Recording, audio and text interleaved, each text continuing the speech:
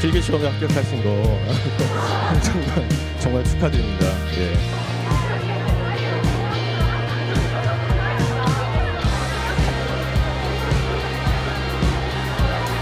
민석 선생님 같은 경우에는 예상 문제가 너무 꼼꼼하게 잘 돼 있고 그리고 그냥 쉽게 넘어갈 수 있을 것 같은 내용도 문제집에 다 담아주시고 해설도 너무 자세하기 때문에 내가 부족했던 거나 아니면은 조금 간과하고 넘어갈 수 있었던 부분을 파악하기 좋았던 것 같아요.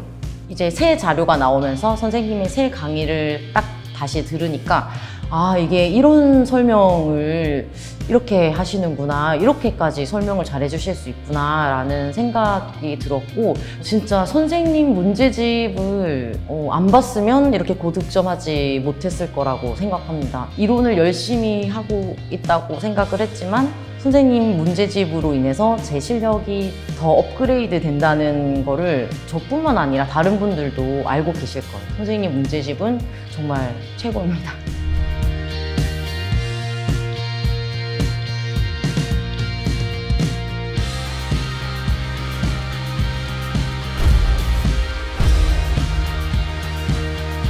첫날 아들 구매 고객이 취소를 요청하는 경우 구매 당일 판매 우체국에서만 환불 처리가 가능하다라는. 기본형 이용 시 이미지 한 종이 기본이며 한 종을. 한 종. 요금별로 우편물에서는 우편 날짜 도장을 생략한다라는 거 꼭 기억을 해주셔야 되겠습니다. 이용자는 사유가 발생한 날부터 며칠 이내 15일이 됩니다.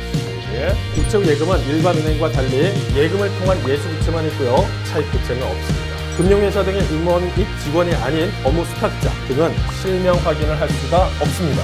피보험자는 1인 2대든 다수든 상관은 없습니다. 보험계약자는 보험가입증서, 보험증권을 받은 날부터 며칠 이내 청약을 참여할 수 있나요? 15일입니다. 15일.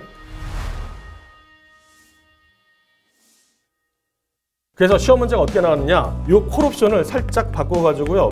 풋옵션 이렇게 했다는 거예요. 풋옵션. 우리 시험에서의 출제가 그렇게 단어 하나 바꾸면 의미가 전혀 달라진다는 겁니다. 주의하실 부분이 뭐냐? 이 순보험료라고 되어 있습니다. 순보험료 이렇게 설명하는 부분도 있고요. 영업보험료 이렇게 하는 경우도 있거든요. 만약 얘를 갖다가 이걸 집어넣으면 단어 하나가 바뀌면 의미가 달라진다는 겁니다. 제가 이제 각각의 강의마다 교환을 갖다 몇 개 만들었어요. 그래서 교재만 반복하다 보면은 정리가 안 되는 경우가 있어요. 가끔 가다가. 그래서 내용을 정리한 교환을 갖다가 드린다고 생각하시면 됩니다.